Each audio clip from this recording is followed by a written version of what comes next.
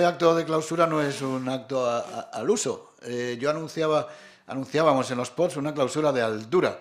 No es porque ninguno de los tres seamos muy altos, pero sí por la, por altura de los dos personajes que van a hacer la clausura. A mí las, cualquier conferencia corta, larga, regular que haga Miguel Ángel me, me encanta porque eh, es un tipo que sabe, pero es que encima lo, sabe contar, eso es, difícil. Y que además tiene una cultura mediática suficiente como para encima adaptarse bien a cualquier medio. ¿eh? Estamos hablando de comunicación. Además de eso, es patrono de Funteso, o sea, está en el club, este ya está, así que está conquistado. Y, somos amigos personales de hace mucho tiempo y bastante coincidentes, bueno, casi muchísimo, y a veces divergentes, pero de ahí sale la luz, en temas de tecnología, que es en lo que mayormente trabajamos. Así que le pedimos que, fuera, que hiciera un poco una conferencieta, una charleta, o como le quiera llamar, final.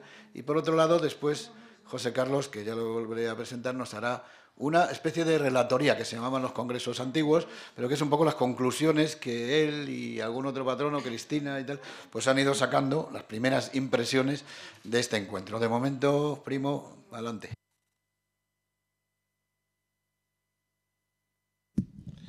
Sí, ahora sí. Muchísimas gracias. Eh, pues gracias a, a, esta casa, al Inserso, gracias a, a, Funteso, al RST, a tantos compañeros, amigos, profesionales e interesados en la tecnología social. Em, bueno, esta ponencia o conferencia de, clausura se titula, como veis, Retos de futuro de la tecnología social.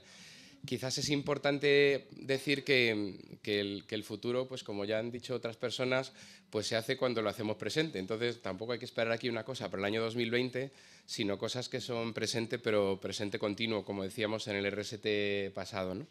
Entonces voy a intentar vislumbrar así en unos minutos pues, algunas ideas que pueden ser retos para todos en, en ese sentido. Eh, bueno, aquí completando el grupo, eh, teníamos, como decíais, aquí el ciego, el cojo, el manco, pues yo soy el siniestro, pero porque soy zurdo, ¿eh? no por otra cosa, o sea que aquí toda la diversidad máxima. Voy a empezar contándoos una, una película de hace más de tres décadas que se llama Los dioses deben estar locos, que a mí me gusta muchísimo, en la que se ve ahí en el desierto del Kalahari unos bosquimanos que están tan felices con la arena y con su sol y, con, digamos, su vida 100% eh, integrada en la naturaleza, cuando de repente pasa un avión por arriba y alguien baja la ventanilla y tira una botella de Coca-Cola por la ventana y cae. Ya estoy viendo cabezas haciendo así, o sea que algunos la habéis visto.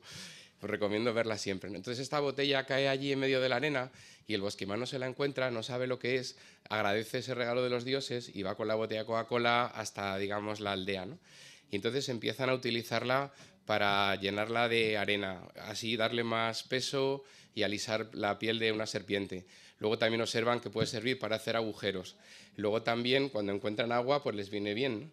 Y entonces están jugando los niños con la botella, que a todos les interesa mucho, y de repente solo hay una botella, hay tres niños, y uno coge la botella para hacer una cosa, el otro vuelve y se la quita y el tercero coge y le pega un botellazo a otro niño. Y entonces la botella se convierte en arma y el regalo de los dioses deja de ser de los dioses desde el punto de vista de los bosquimanos. Y la película continúa eh, y, es, realmente una grandísima reflexión sobre tecnología apropiada que conecta al principio un poco de esta, clausura de, esta conferencia de clausura con la no conferencia de apertura de, ayer, en la que también se hablaba de, usos buenos y malos de la tecnología. Y bueno, pues quería un poco empezar ahí porque es muy importante cuando, cuando se crea, diseña y plantea o imagina, pues tener presente eh, las causas y las, y las consecuencias. Y por eso yo esta ponencia de los retos, pues he planteado hacerla pues como como varios retos. Entonces, el reto primero, que creo que es muy importante que a tener en cuenta para la tecnología social, eh, es que es socializarse.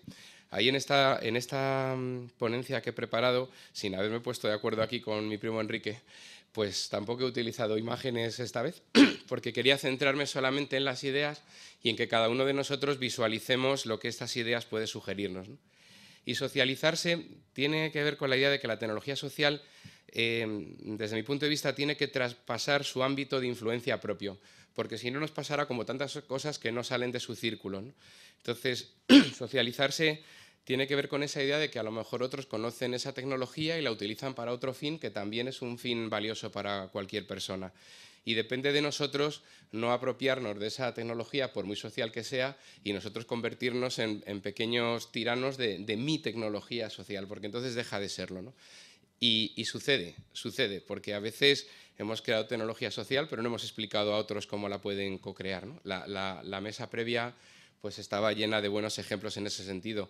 Y un ejemplo ha salido hace un momento. Si tú creas tecnología social y luego no la documentas, no la transfieres, no la divulgas, etcétera, etcétera, como se decía ayer, pues, pues mm, se, convierte en, asocial o, en antisocial.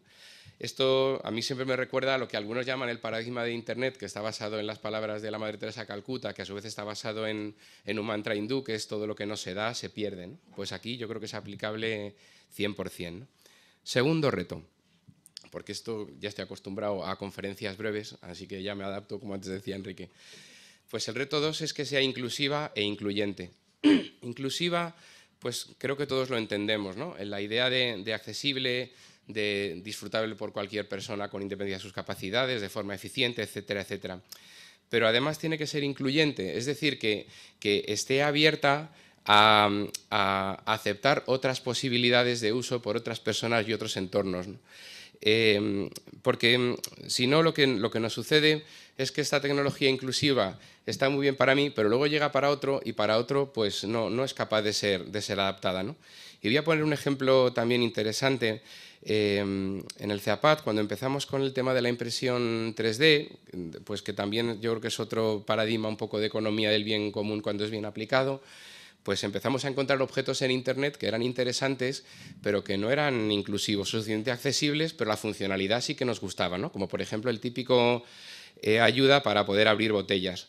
Entonces, gracias a que el diseño de ese abre botellas era un diseño abierto, aunque no fuera inclusivo, tenía un enfoque incluyente, porque nosotros pudimos descargarlo, rediseñarlo, hacerlo eh, accesible añadiéndole el mango correspondiente. Casualmente traía Enrique hoy el chisme este que digo, que debe estar por ahí, y, entonces hemos permitido que esa tecnología social pueda servir para, para, otros, ¿de acuerdo?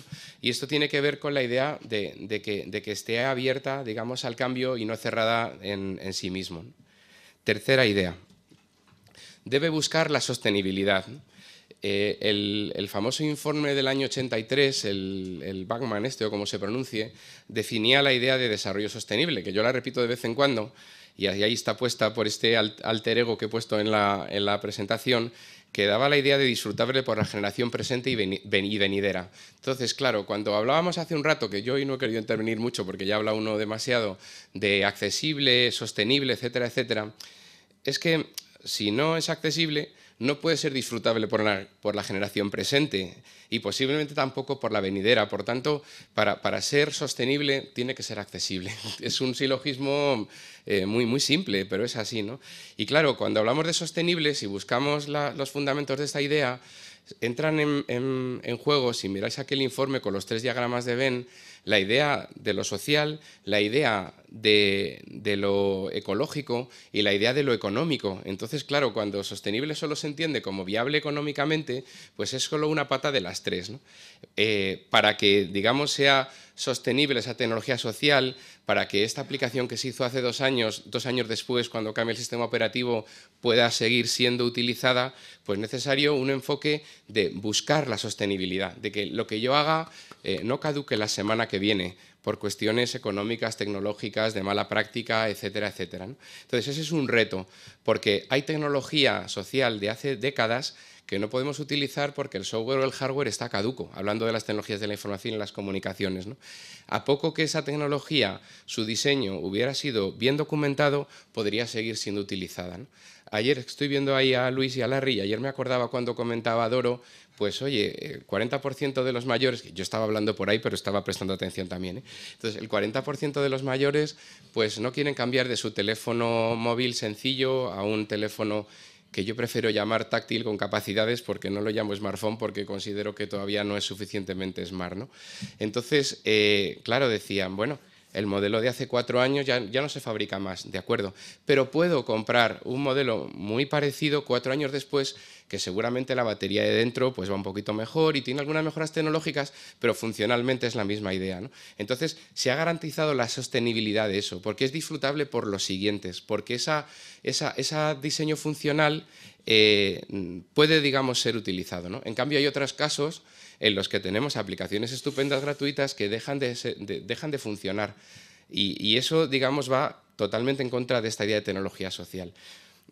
Mm, a todos los que trabajamos en el mundo de las tecnologías, a los que la creamos, la disfrutamos, la sufrimos, todo eso, va este mensaje de buscar la sostenibilidad, no solamente eh, económica, no solamente tecnológica, eh, sino también social y, ecológica, ¿de acuerdo? Para que nuestra generación, la misma nuestra cuando seamos más mayores o la venidera, pues puedan, puedan digamos, compartir y, vivir ese recurso para todos.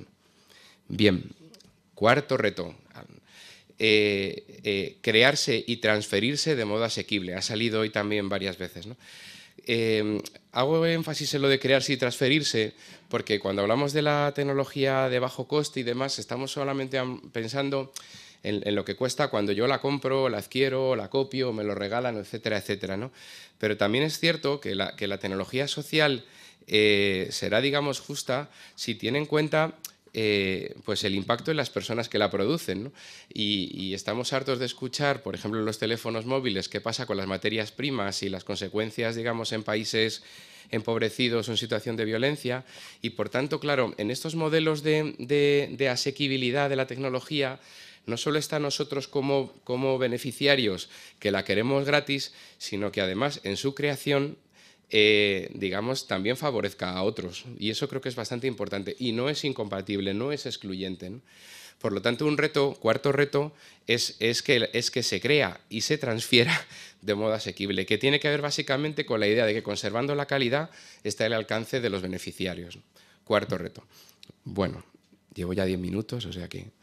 Y ahora el quinto reto que, bueno, eh, me, he plantado en cinco retos, porque como este es el quinto RST y también no hay quinto malo, pues nos quedamos en cinco retos. Y el quinto reto es tener un enfoque ético, que si lo hubiera puesto el primero, ya a lo mejor no tenía que haber continuado. ¿no?